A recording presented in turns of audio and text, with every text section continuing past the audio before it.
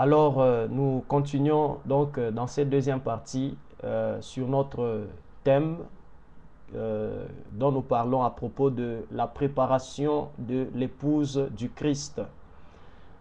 comme nous l'avions dit dans la première partie, que l'épouse du Christ n'est autre que la nouvelle Jérusalem, la ville sainte, l'église du Seigneur.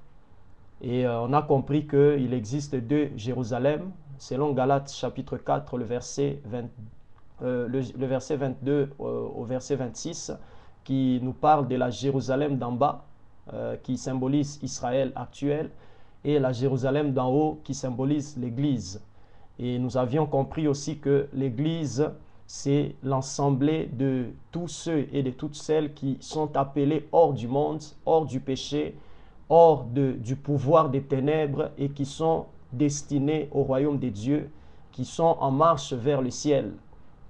Alors, euh, comme nous parlons de la préparation de, l'Église, nous nous basons sur le, notre texte de base qui est Apocalypse 21, le verset 2, euh, là où l'apôtre Jean euh, reçoit la vision de la nouvelle Jérusalem qui descendait du ciel, de la ville sainte qui descendait du ciel et qui s'est préparée ou qui s'était préparée comme une épouse qui s'est parée pour son époux. Alors la question que nous devons nous poser, c'est celle de savoir quand est-ce que cette nouvelle Jérusalem s'est-elle préparée? Parce qu'on nous dit clairement qu'elle s'est préparée comme une épouse qui s'est parée pour son époux. Alors, lorsque nous analysons la parole de Dieu, nous comprenons que euh, euh, la nouvelle Jérusalem, l'église dont l'apôtre Jean nous parle ici, ne s'est pas préparée au ciel, mais elle a commencé à se préparer sur la terre pendant son pèlerinage terrestre, pendant sa vie sur la terre, c'est durant sa marche sur la terre que la nouvelle Jérusalem s'est préparée. C'est durant notre vie sur la terre que nous, en tant que chrétiens, que nous, en tant qu'Église, nous devons nous préparer à la rencontre de l'époux, à la rencontre de notre Seigneur Jésus-Christ. Alors, on nous dit ici que la nouvelle Jérusalem s'est préparée. Mais pour pour quelle raison s'est-elle préparée? Ça, c'est aussi une question que nous nous, posons. Elle s'est préparée, oui, mais c'est pourquoi, pour quelle raison, pour quel but s'est-elle préparée? Alors la réponse se trouve dans Apocalypse au chapitre 19, à partir du verset 6 jusqu'au verset 9. Apocalypse 19, je vous invite à, à, ouvrir vos Bibles si vous en avez. Dans Apocalypse 19, le verset 6 à 9, la parole de Dieu dit, et j'entendis comme une voix d'une foule nombreuse, comme un bruit de grosses eaux, et comme un bruit de fort tonnerre, disant, Alléluia, car le Seigneur notre Dieu Tout-Puissant est entré dans son règne. Réjouissons-nous et soyons dans l'allégresse et donnons-lui gloire. Car les noces de l'agneau sont venues, et son épouse s'est préparée, et il lui a été donné de se revêtir d'un fin lin éclatant pur car le fin lin, ce sont les œuvres justes des saints. Et l'ange me dit, écrit, Heureux ceux qui sont appelés au festin des noces de l'agneau. Et il me dit, ces paroles sont les véritables paroles de Dieu. Gloire au Seigneur. Donc, bien aimés, nous voyons ici l'apôtre Jean nous donner la raison pour laquelle l'épouse s'était préparée. L'apôtre Jean nous révèle le but pour, pour, lequel l'épouse du Christ s'est préparée. Et quand nous lisons, nous réalisons le verset 7, on nous dit, Réjouissons-nous et soyons dans l'allégresse et donnons-lui gloire, car les noces de l'agneau sont venues et son épouse s'est préparée.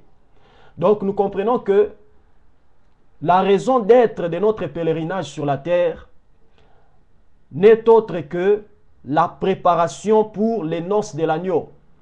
Et nous savons tous que les noces euh, euh, veulent tout simplement dire le mariage. C'est tout simplement la fête, la fête du mariage.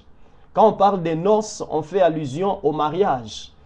Et euh, ici, il s'agit, il s'agit bien sûr du mariage de l'agneau, qui est l'époux, qui est Jésus-Christ, et de l'épouse, qui est l'Église, l'ensemble de tous ceux qui sont nés de nouveau. Donc ici, on nous dit que les noces de l'agneau sont venues la finalité de la marche de l'Église c'est d'atteindre le royaume des cieux. Et je m'aimerais exhorter à travers cette vidéo tout chrétien, où que vous soyez à travers le monde, sachez que votre destination finale doit être les noces de l'agneau. Durant votre pèlerinage sur la terre, vous devez vous préparer aux noces de l'agneau. La raison pour laquelle nous sommes nés de nouveau, la raison pour laquelle nous sommes devenus chrétiens, ce n'est pas d'abord pour gagner le monde, ce n'est même pas pour gagner le monde. Parce que le Seigneur a dit un jour, souvenons-nous, que que servirait-il à un homme de gagner le monde entier s'il perdait son âme? Donc, si nous avons été mis à part, parce que le mot saint, nous, nous, disons que nous sommes une assemblée de saints, le mot saint veut tout simplement dire mis à part. Alors, si nous disons que nous avons été mis à part, c'est tout simplement pour pouvoir nous rencontrer avec l'époux et pour célébrer les noces avec notre époux qui est le Seigneur Jésus-Christ. Donc ici, nous comprenons que l'époux, l'épouse plutôt, se prépare ou doit se préparer pour les noces de l'agneau. Et laissez-moi vous dire que les noces de l'agneau n'auront pas lieu sur cette terre, mais les noces de l'agneau auront lieu dans le royaume des dieux au ciel. C'est pourquoi ici on nous dit réjouissons-nous. Donc ça doit être le sujet de notre réjouissance. C'est vrai, nous pouvons nous réjouir si nous sommes bénis sur la terre, si euh, le Seigneur nous, nous bénit financièrement sur la terre, nous pouvons nous réjouir. Mais laissez-moi vous dire que la joie terrestre est une joie momentanée. Parce que en tant qu'humain, vous allez remarquer une chose que toutes les fois où nous nous réjouissons de quelque chose, il y a toujours un autre problème qui arrive quelque part. Nous n'avons jamais eu une joie parfaite sur cette terre et nous n'aurons jamais une joie parfaite. Ce n'est pas pour vous décourager que je le dis, mais c'est la réalité de la vie. Aujourd'hui, vous pouvez euh, vous réjouir parce que vous avez un bon travail et le lendemain, vous pouvez avoir un problème dans la famille.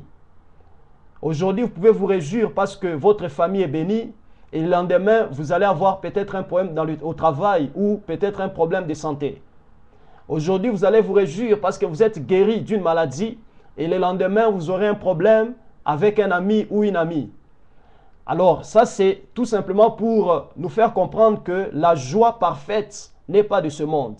La véritable joie, c'est celle que nous allons euh, expérimenter durant les noces qui auront lieu dans le royaume des dieux. Et nous savons que le Seigneur lui-même reviendra pour prendre son Église, pour amener tous les saints dans son royaume, afin que nous puissions célébrer les noces ensemble avec notre époux qui est le Seigneur Jésus-Christ. Donc ici, nous comprenons que l'Église doit se préparer, ou l'Église s'est préparée pour le but de, pour un seul but, pour un seul objectif. Et cet objectif-là, c'est la célébration des noces de l'agneau. J'aimerais exhorter ici tous les hommes de Dieu, tous les prédicateurs, où que vous soyez, quelle que soit votre dénomination, le Seigneur vous a établi pour préparer les saints, pour préparer l'Église aux noces de l'agneau. Donc, euh, tous les messages que nous pouvons apporter au peuple de Dieu, tous les enseignements que nous pouvons donner, doivent amener l'Église à se focaliser sur les noces, doivent amener l'Église à garder les yeux fixés sur les noces, doivent amener l'Église à se préparer. Et nous allons entrer encore en détail euh, dans notre prochaine vidéo pour voir maintenant concrètement comment est-ce que l'épouse, la nouvelle Jérusalem, doit se préparer présentement comme je vous l'ai dit, la préparation ne se fera pas au ciel. Euh, nous savons tous que si aujourd'hui une femme euh, veut se marier à un homme, euh, si la date du mariage est fixée pour le mois de décembre, par exemple, et que présentement nous sommes au mois de janvier, la femme ne va pas se préparer le même jour du mariage. Elle devra se préparer bien avant. Et le jour du mariage, ce sera juste le jour de la célébration, mais la préparation doit être faite bien avant. Et c'est le même principe aussi sur le plan spirituel.